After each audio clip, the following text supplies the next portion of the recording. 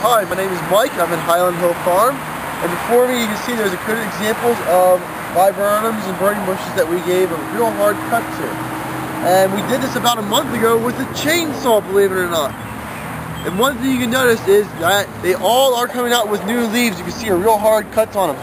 Viburnums can take some real nasty cut pruning before they die.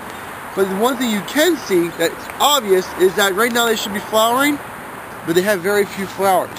There is one flower over here. The reason for that is that viburnums and such plants that are determinate have the flower buds that are created on last year's growth. So if you cut off all last year's growth, you won't have any flowers this year. That's why when you prune these, you should prune these after they flower and once these new stalks start hardening off. That way when the buds are formed for next year, they have flowers for you. But anyway, you can see that you can cut them. These guys were like 15 foot tall. They were massive tall trees. We cut them about three foot because that's what we usually do. I even had some friends come out and said that I was going to kill these guys because I cut them so hard, but you can see they still come back. Viburnums are a very resilient plant. And you can see the number of shoots that they're putting up. Yes, they, they, if you cut them real hard like that, they come back even thicker and fuller. Now this is a burning bush you cut back hard. Yes, that is. And uh, that's what happens with burning bush as well. They are also in the same family where they can take a lot of unnecessary cutting and still come back.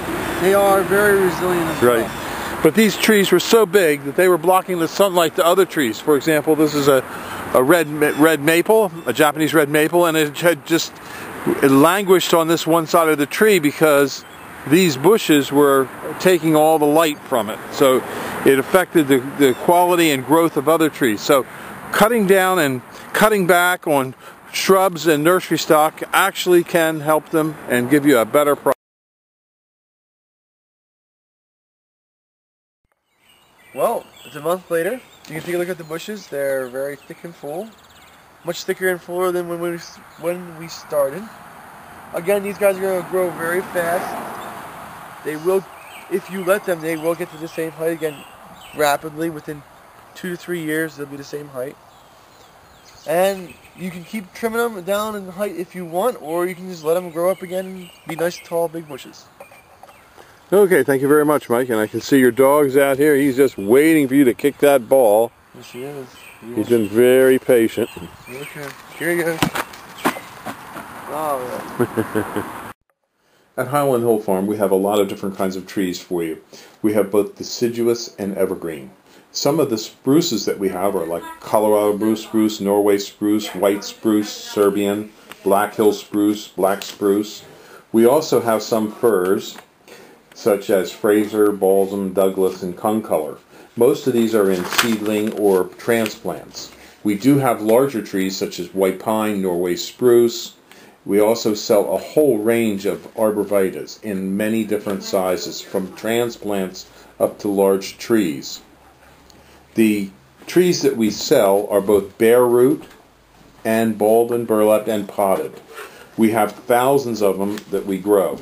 We also have southwestern white pine, and we are noted for our green giant arborvitaes and Leyland cypresses. We also have hemlocks up to 10 to 12 foot high, along with redwoods.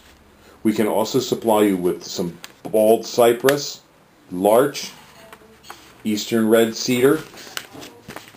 In the way of shrubs, we have arrowwood viburnums, bayberry, blackhaw viburnums, a whole range of viburnums, dogwoods, red, twig, silky dogwoods, elderberries. We also have forsythia, common lilacs, Japanese lilacs, Peking lilacs.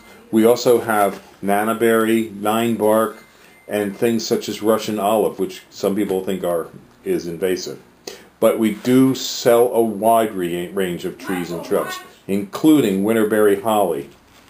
So give us a call at 215 651 8329 as we do deliver and we deliver and plant.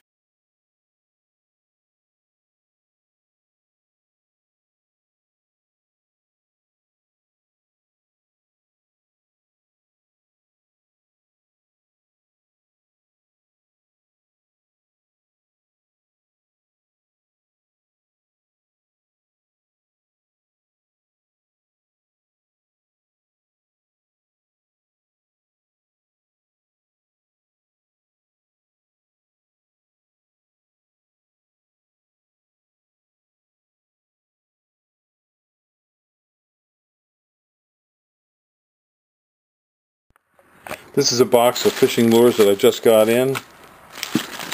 There are lots and lots of lures in this box. And you can come to the farm and pick through them. If you want to see some old lures, buy some old lures, trade. Here at Highland Hill Farm, we do a lot of bartering.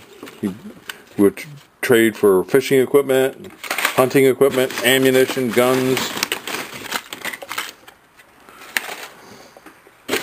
We also do a lot with, uh, you can see there's quite a bit in here.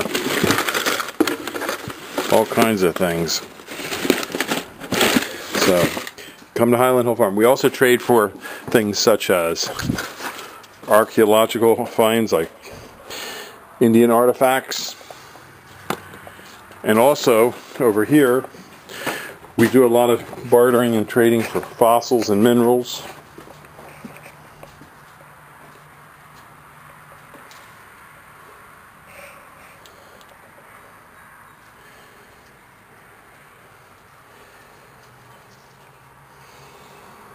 We're at 5275 West Swamp Road, Fountainville, PA 18923.